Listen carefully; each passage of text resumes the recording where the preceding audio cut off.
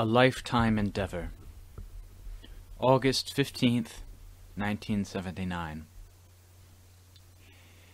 In one of the monastic rules of conduct, monks are forbidden from calling out loudly when they want to get other monks' attention. They should instead signal with their hands, because the Lord Buddha wanted them to have a quiet environment to meditate. During the Lord Buddha's time, the monks took up meditation as their lifetime endeavor. But nowadays, most of the monks and the laity don't. The Lord Buddha and the noble disciples or savakas taught only the practice of walking and sitting meditation, the places that were suitable for the meditation practices, and the methods used to eliminate the kilesas, tanha, and asava. The main topics of conversation that the monks had during the Lord Buddha's time were the Dhamma, which means cleansing or purifying. It's the cleansing of the kilesas from their conduct, speech, and thought. They should only be talking about cleansing and eliminating the kilesas because they took up the robe for this purpose, and not to accumulate the kilesas. Right now, you only have the appearance of one who has gone forth. Originally, Going forth was for the purpose of destroying all the kilesas, tanha, and asava. If you believe in this ideal but are not doing any practice, you'll instead accumulate more kilesas and defy the Dhamma Vinaya. As a practitioner, you must strictly adhere to the Dhamma teaching that has been recorded in the scriptures and use it as your guide. The purpose of recording and preserving the Lord Buddha's teaching is to serve as a guiding light for those who are interested in the practice of mental development. Had it not been recorded, you wouldn't know how the Lord Buddha and the noble disciples practiced and became enlightened. Nowadays, you only study the scriptures and do not do any practice. All that you have learned are the descriptions of the Magga, Phala, and Nibbana. If your goal in studying the scriptures and practicing mental development is to become a famous guru, you'll unknowingly accumulate more kilesas and reject the goal set for you by the Lord Buddha. You should seriously think about this. You shouldn't rely solely on your teacher's instruction because it's not enough to make you wise. How do you become wise? You have to do a lot of investigation, analysis, and reflection and be always mindful of the sense objects that come into contact with your eyes, ears, nose, tongue, body, and heart. If you don't use your sati and panya, you'll never gain any wisdom. The Lord Buddha and the Savakas gained wisdom through their sati, panya, saddha, and virya. They didn't become wise by being idle and hopeless. When doing walking meditation, they didn't let their mind think aimlessly like the way you're doing which is no different from people who don't practice walking meditation. Sati and Panya connect to form a formidable weapon to free your heart from the Kilesa's oppression. Saddha is the belief in the Magga and Phala, and the belief that having faithfully followed the Lord Buddha's teaching, you will become enlightened. You should always practice with diligent effort or virya to develop your sati or mindfulness and investigate with panya. If you always maintain your diligent effort, you'll never get tired of fighting the kilesas or be discouraged from developing your sati and panya. The citta is the real thing. The body is merely a phenomenon. When you practice meditation whilst walking back and forth without any mindfulness, you're like people who go for a stroll, not like someone who practices meditation. But you're worse than them if you practice walking meditation without any mindfulness. You mustn't walk like that. The Lord Buddha's teaching, which has been recorded in the scriptures, can be very useful for your practice if you reflect on it with your sati and.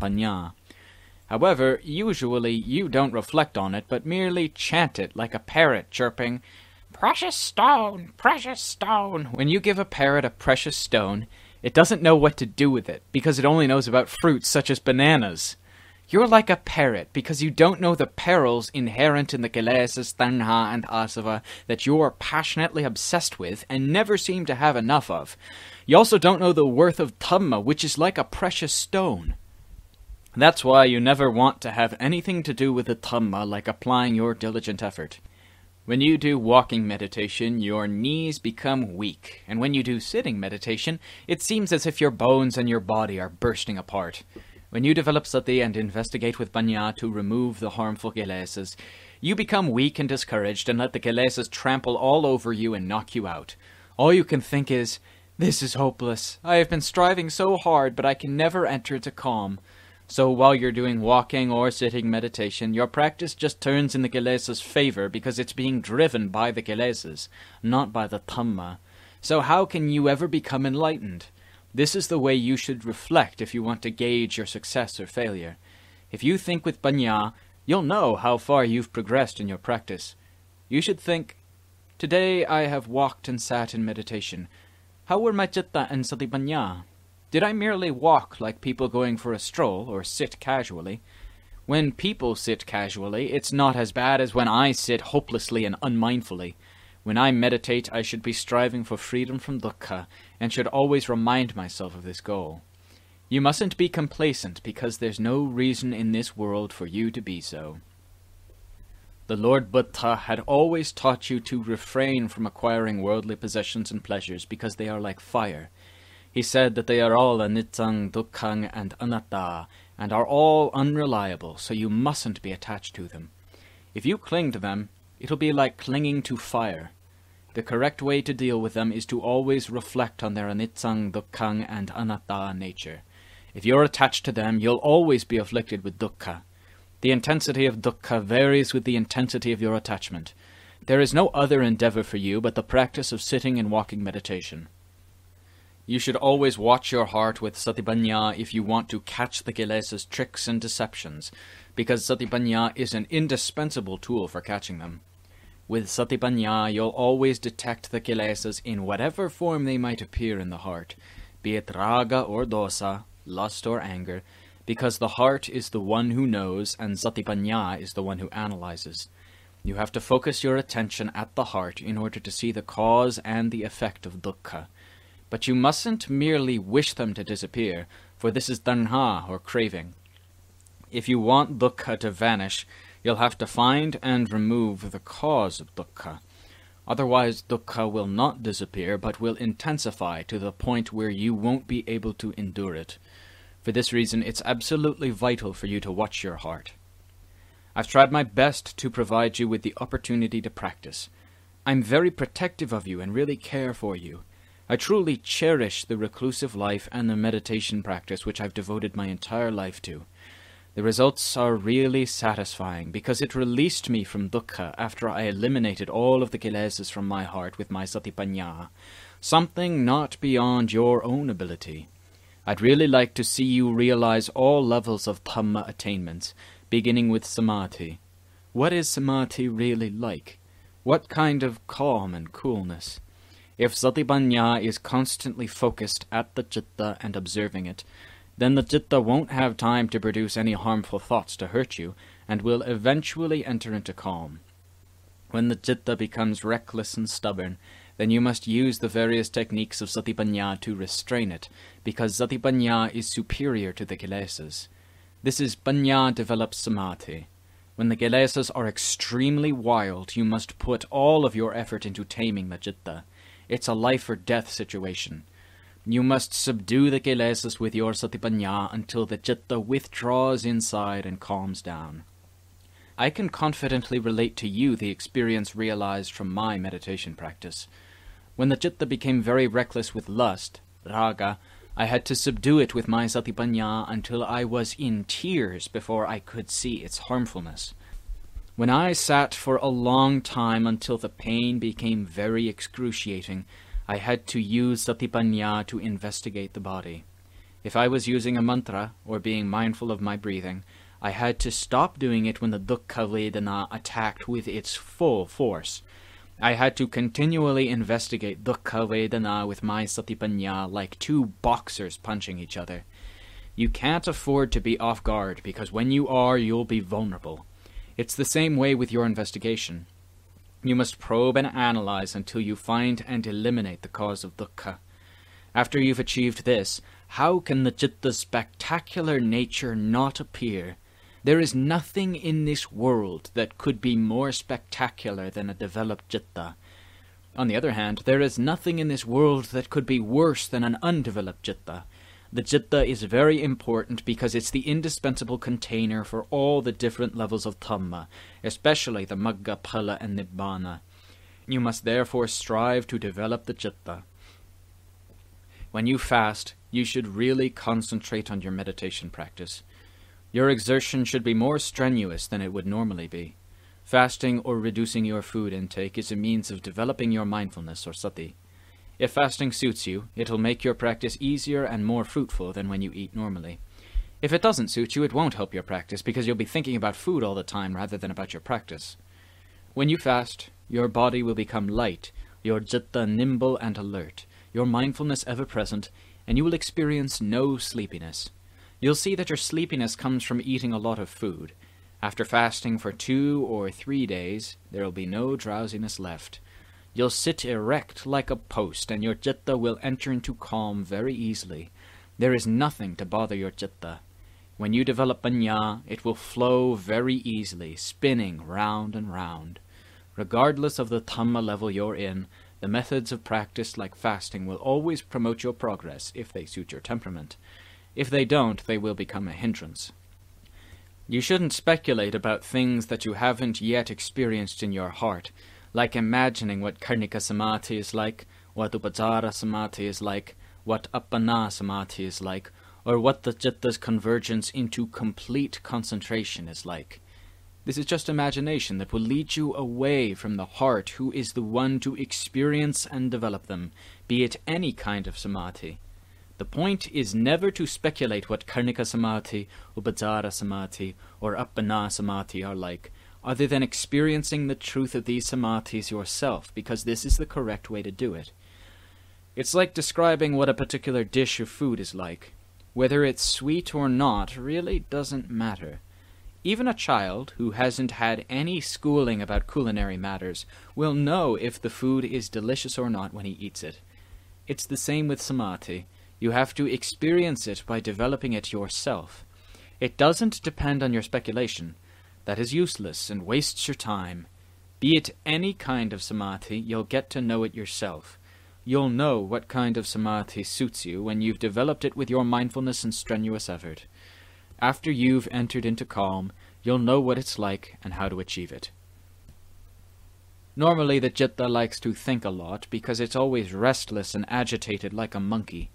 But when you've developed sati to control your citta, like when you've continually concentrated on your mantra or any other meditation object, then the citta won't have the chance to think aimlessly and will calm down whatever kind of calm it may be, you'll know it, as well as the happiness, ease, and comfort that accompany it, be it khanika, upacara, or appana. The important point is never to speculate about them, because it's a waste of time and a hindrance to your meditation practice, especially when you're investigating for the truth. What you've studied from the scriptures or heard from your teacher are all speculation. If you apply it in your investigation, you'll ruin it and never become enlightened the citta will unknowingly think that it's the truth. Therefore, you mustn't let your speculation interfere with your investigation. If you want to become enlightened, you must always attentively watch your citta. You're practicing citta bhavana or mental development. You are not practicing for the development of mental delusion. If you constantly study the citta, you'll see clearly that the citta is the knowingness, or the one who knows. The Lord Buddha had to give about 84,000 different discourses to suit the needs of thousands of his devotees, who are like patients afflicted with different kinds of diseases. Is it practical for a doctor to use only one kind of medicine to treat all of his patients? Of course not. He must have many kinds of medicines to treat his patients. It's the same with the Lord Buddha, who couldn't give just one discourse to all of his devotees, the important point is never to speculate about the citta, but to know it from your practice. In order to be firm and stable, you have to be firm in your development of samadhi and mindfulness. Your diligent effort is crucial for achieving your samadhi, or mental stability, which is vital for the investigation for insight or vipassana. With a calm citta, your investigation with panya will be easy because the citta won't be distracted with cravings. Samadhi is the citta's nourishment that will keep it calm, cool, and contented. When you investigate, your satipanya will perform at full capacity, and you will become enlightened. You can take my words for it because I've already experienced it myself. There are many levels of panya, but you shouldn't speculate about them.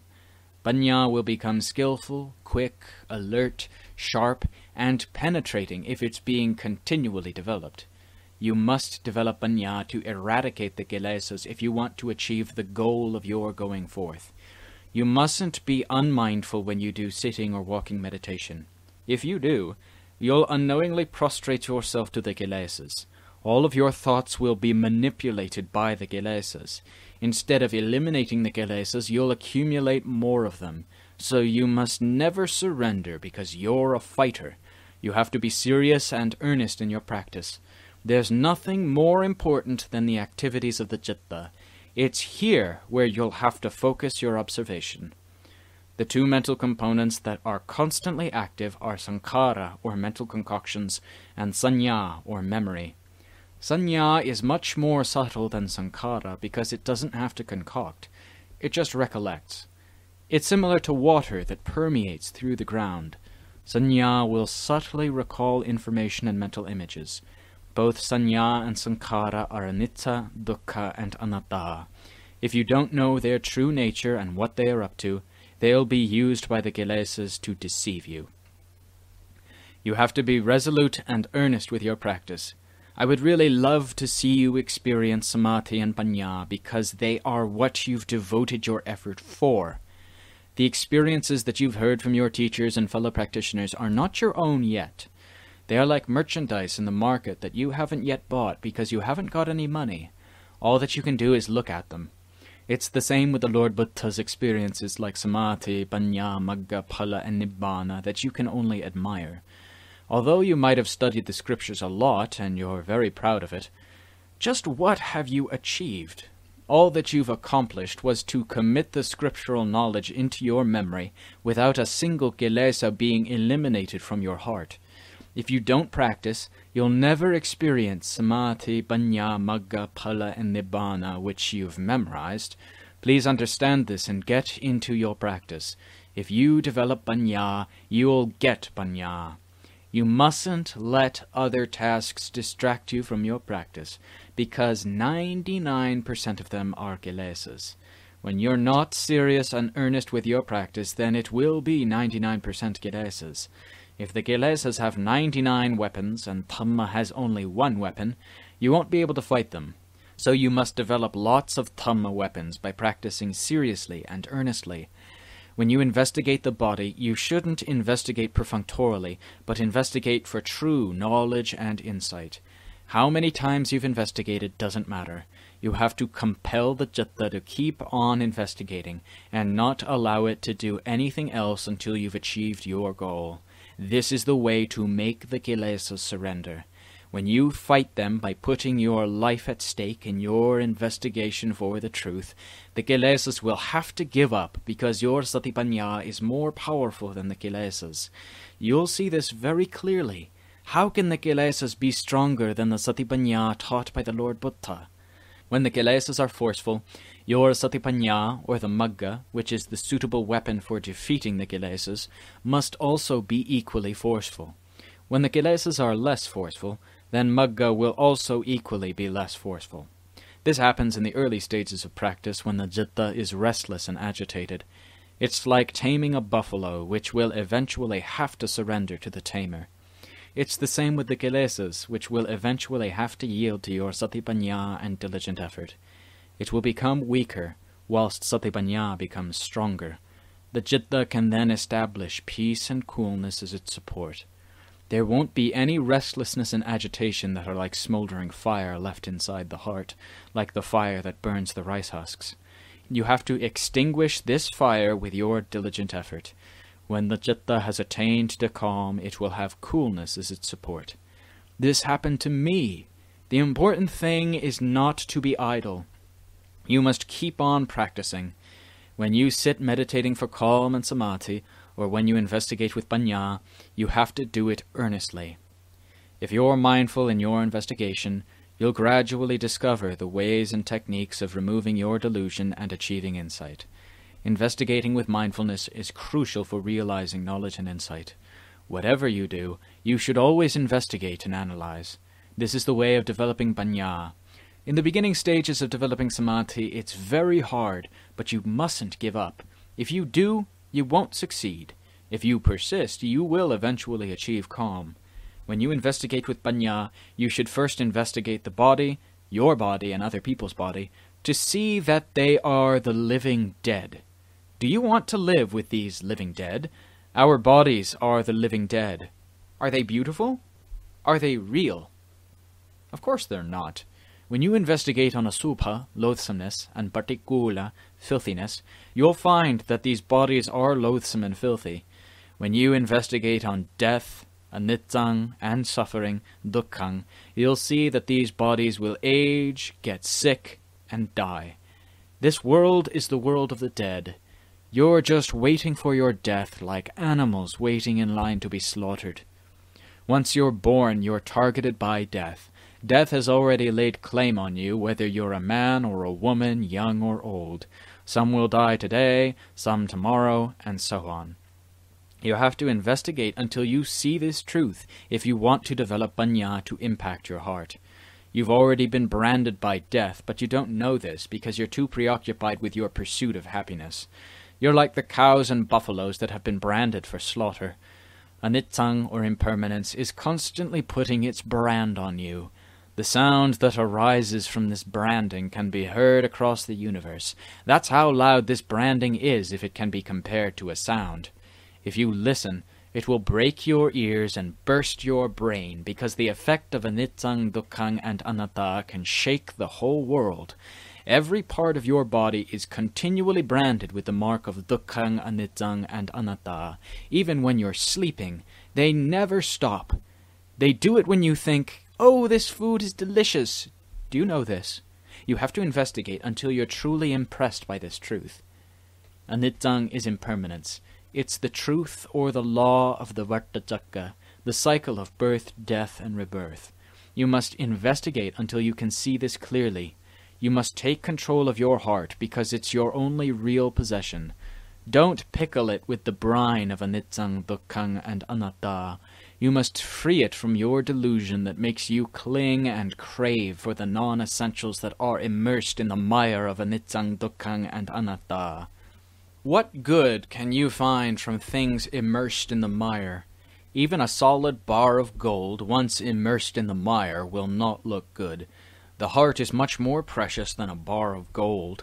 When it's immersed in the mire of greed, hatred, and delusion, how can it become precious? You should therefore free your heart from the mire of anittang, dukkhang, and anatta that constantly oppresses your heart. When you've seen the truth of anatta, you'll see that there are no people, animals, I, or they to cling to. You should earnestly investigate to see the truth clearly inside your heart, and should not oppose the Dhamma teaching, because it is the truth. The Kilesas and Dhamma will always oppose one another. The Kilesas will make your views and understanding differ from the Dhamma teaching, and will destroy the Dhamma teaching without you being aware of it. When you have clearly seen the truth, your Citta will defeat the Kilesas. It will be firm and resolute like a warrior. Your exertion will be very intense. Your satipanya will probe relentlessly until you see all the truth. When Banya starts to investigate, it will first probe the entire world to see without any doubt that everything is all made up of the four physical elements of earth, water, wind, and fire. When you have seen this truth, you'll let go of them. After that, the scope of your investigation will become narrower, because the kilesas and your delusions are fewer. Satipanya will now focus on the five khandhas, separating and identifying them. Its goal is to see the rupa khandha or body as merely a body, the vedana khandha or feelings as merely the three kinds of feelings of sukha, pleasant, dukkha, unpleasant, and neutral, sanya as merely sanya, sankhara as merely sankhara, and vinyarna as merely vinyarna. The four mental aggregates, or nama khandha, have a similar nature, when you investigate one of them and see its true nature, you'll also see the true nature of the other three. Once you've clearly seen their true nature, how can you not let go of them? You'll let go of them because the reason you've been clinging to them is simply because you didn't know their true nature. The goal of your meditation practice is enlightenment, insight into your true nature, and insight into the nature of your delusion that causes you to cling to anittang, dukkhang, and anatta. When you have clearly seen the truth of the five khandhas, Satipanya will then probe inside the citta, because there is nothing outside to investigate any more. The scope of the investigation and the kilesas will converge into the citta, where the kilesas will be completely eliminated. When they are completely removed, what is left? Gone is anittang, gone is dukkhang, and gone is anatta. Everything is let go of and left as it is. These three characteristics inherent in all conditioned phenomena, anittang, dukkhang, and anatta, are the path to nibbana. When you've arrived at nibbana, these three characteristics will lose their usefulness. Like, when you travel on the road and arrive at your destination, the road that led you to your destination will become superfluous. It's the same with the citta when it travels on the path of anittang, dukkhang, and anatta until arriving at its destination, after which those three factors will serve no useful purpose. Your investigation that was spinning like a Dhamma wheel will stop, because all the kilesas have been destroyed. This was the endeavor of the Dhamma practitioners during the Lord Buddha's time. They attained Magga, Phala, and Nibbana in the forest and on the mountains because they practiced for the elimination of the kilesas. They knew that wealth and status were lures that would lead them to insanity, and knew that the kilesas were the ones that enticed them with wealth and status. What can be more precious than the Dhamma? You should fight the kilesas until you become enlightened. You'll then let go of everything. Wealth and status are kid stuff, like children's toys. After you've become enlightened, you'll relinquish everything because they are all sammati, or supposition. Enlightenment is the most satisfying result. It's the fruits of your uphill struggle from start to finish, and the fruits of training, disciplining, developing, protecting, and nourishing yourself with the Dhamma that you should value more than anything else. You must consider the practice of mental development to be your most important endeavor, and must not do other work or activities just to alleviate your annoyance, as this will only serve to increase your frustration. When the citta has achieved the ultimate goal, it will be blissful, and all problems will come to an end. The practice of mental development will also come to an end. It's not like the worldly undertakings that have no end. You'll do them until you die, and carry with you to your next life all of your worries, confusions, and miseries. You'll never find any lasting happiness, ease, and comfort. But if you've accomplished the practice of mental development, you'll lose all your worries. This is analayo, totally free of worries, because you've left all things as they are, even your body. Whatever should happen to it, you'll let it happen. You've already learned the nature of your body and know that it's anittang, dukkhang, and anatta, just like Vedana, Citta, and Dhamma. The Lord Buddha said that you must let go of all Dhammas at the final stage of practice. When you haven't yet arrived at your destination, don't let go of the path yet. But after you have arrived at your destination, you must let go of the path. You must not cling to it. All Dhammas refers here to all the Sammati Dhammas or relative truths. When you've reached the final stage of practice, you'll let go of the path. At this stage, the citta will become very subtle, and it will be totally immersed in the investigation. But when it realizes that all dhammas are anatta, the citta will completely let go of them. After you've passed beyond the nittang, dukkhang, and anatta, what is this state? This isn't sammati, and you won't describe it, because you know it's indescribable. This is the ultimate truth. You can't describe it, but you know what it is. You know this is the great sage, although it doesn't say it is so.